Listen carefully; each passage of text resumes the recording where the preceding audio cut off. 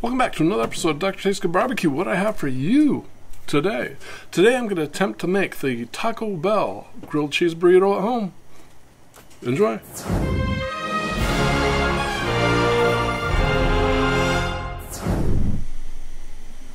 Alright, so for my meat today I'm going with some uh, shaved beef steak and also a little fajita mix. I'll just throw these down. Got a feeling they're going to cook different different times here, so and use whatever meat you want. Use chicken if you want. This is mainly just about the cheese at the end.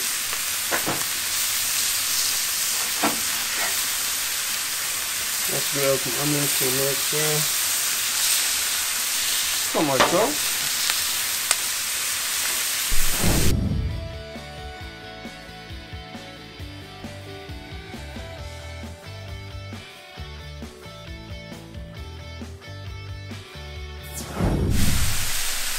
Alright, well I figured I'd bring you back for this here. So all we're doing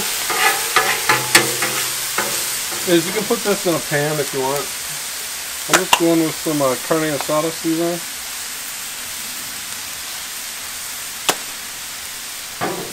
I'm not gonna lie, that came out a lot heavier than I thought with some water.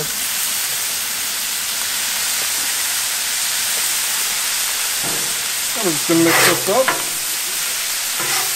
Call it good.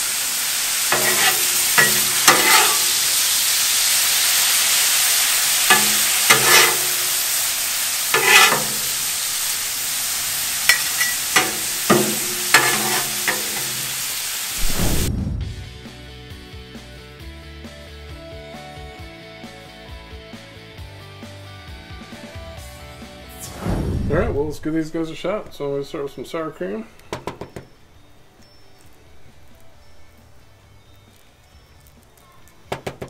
And again, put whatever you want in these. There's no right way or wrong way. A little bit of Spanish rice. Did this up off camera to save you a little time. We got some beef, of course.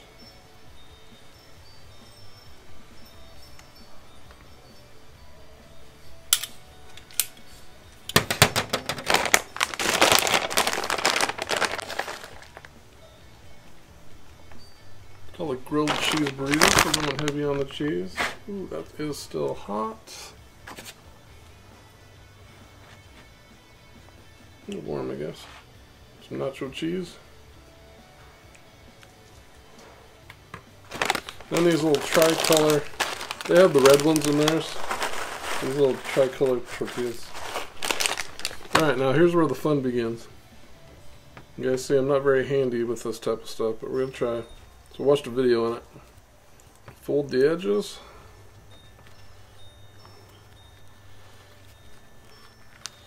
You do a little tuck.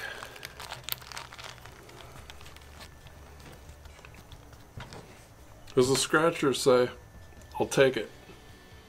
Yeah, I'll just fast forward through the rest of these and we'll get them back on the Blackstone.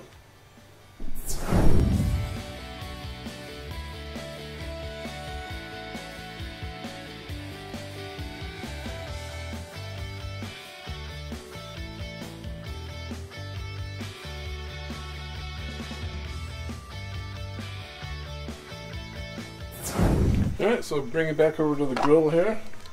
Just a little bit of oil. And for those of you who saw my uh, cheese skirt burger attempt, I think what I did on that one is I cooked it uh, way too hot. So I'm on low right now. Just trying. So we're just trying to seal it up a little bit. I do believe. So let's go put some cheese on it, of course, or else it wouldn't be a grilled cheese. I'm not exactly sure how they do it. They heat it up to the top. What I'm going to do is I'm going heavier than I should with cheese, of course. So that's just what I'm going to do here.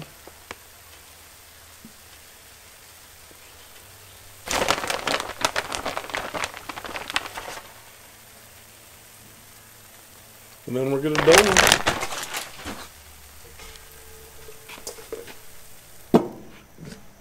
So, we'll come back when I have something to show you. Alright, let's take a look. Time for the reveal. Yeah, not bad. I think I can we can do it better though.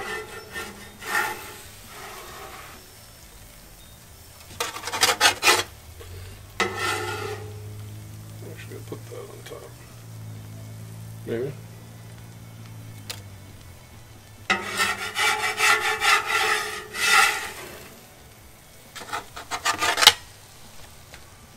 I don't know, what do you think?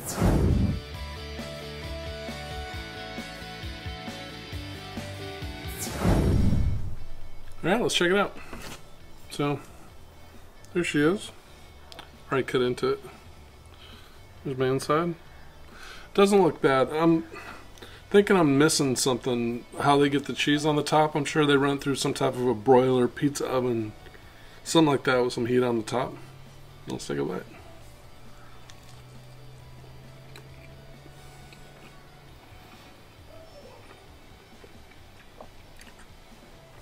Tastes great. I like it. The kids like it. I don't know what to say. This is my version of it. Hey, if anybody knows how to make a real one, drop that in the comments for me. But if you like that video, make sure you smash that like. I'll put a subscribe icon for you. Right about there. Another video. Right about there. Hey, thanks for watching, and I will see you next time.